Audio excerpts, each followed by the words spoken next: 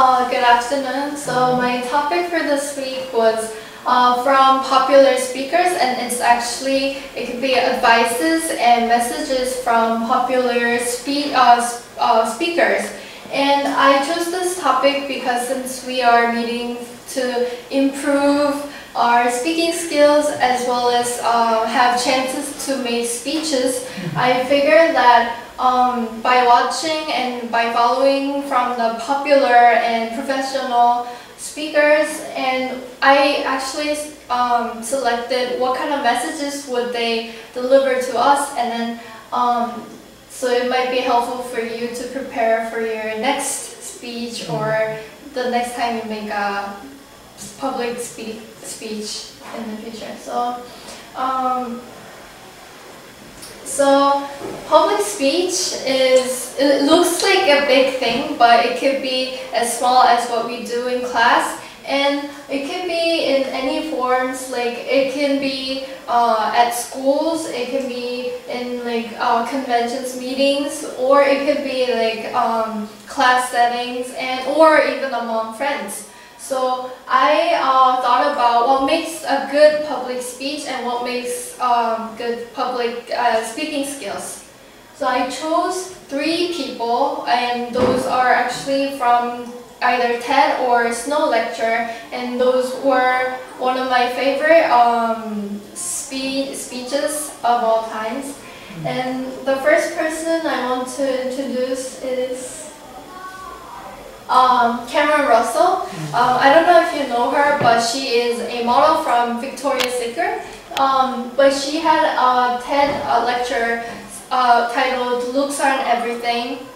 And she um, had very interesting speech about images and the power of image.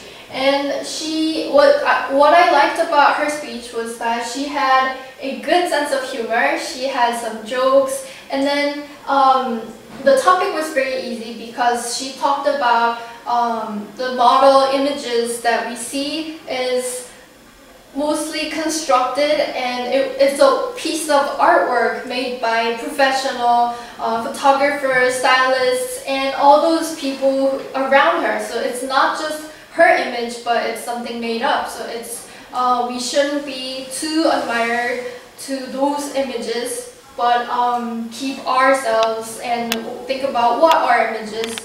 And um, most importantly, she used a lot of physical movement in her TED uh, lecture, not just hand gestures, but in order to convey how powerful the image is, she actually changed her clothes um, in front of the stage. Um, she was dressed in a really sexy dress, but then um, she thought, uh, well, I know how you view me in this dress, but then I will change my image in just six seconds. And then she puts on really um, just casual skirts and cardigan on, and she says, image is very powerful, but look what I just did. I changed, I totally changed my looks in just a few seconds. So image can also be very superficial. That was her quote. So. Um, those model images aren't the reality, but it's something that's made up. Um, and the second speaker I want to introduce is a well-known speaker, um, Oprah Winfrey. Um, she is a famous um, TV and um, like talk show host and entertainer who owns like broadcasting stations and who ran her own talk show. So she, um, usually her speech is mostly about her life stories, but it's very touching because she speaks from the very disadvantaged or very minor uh, people's perspectives. And actually, I watched her commencement speech at Harvard University in 2013. Um, so she was speaking to a group of Harvard graduates, but I've noticed that um, her speech was very powerful because she also had a lot of jokes to make it casual and comforting.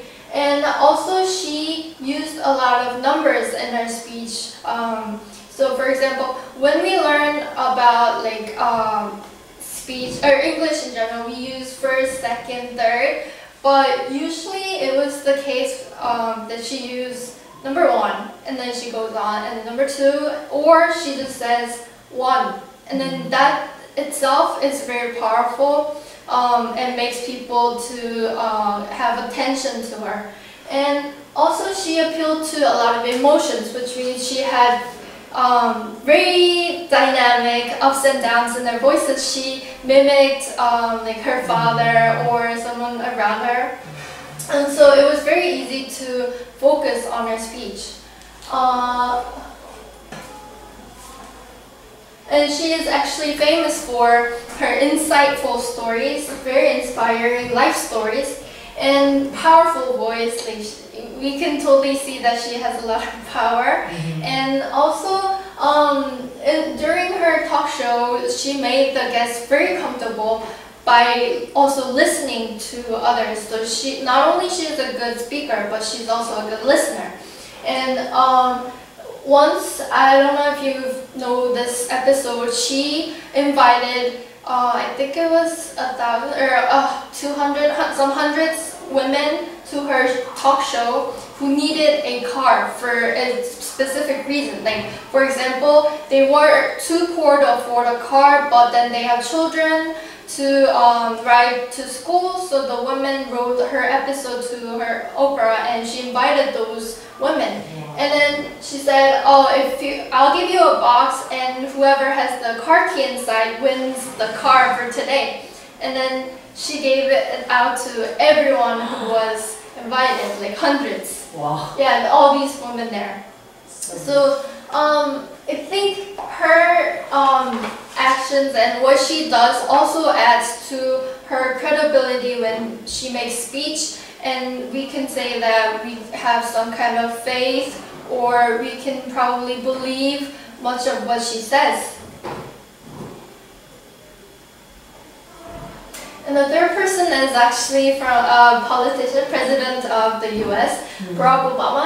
And I was very inspired by his speech um, in especially his 2004 That's Democratic National Convention speech. And in terms, uh, in Korea, it's like 정당 대회, which seems very boring in mm-hmm. our perspective because all we think about is politicians saying something really boring in, in the National Chamber 국회.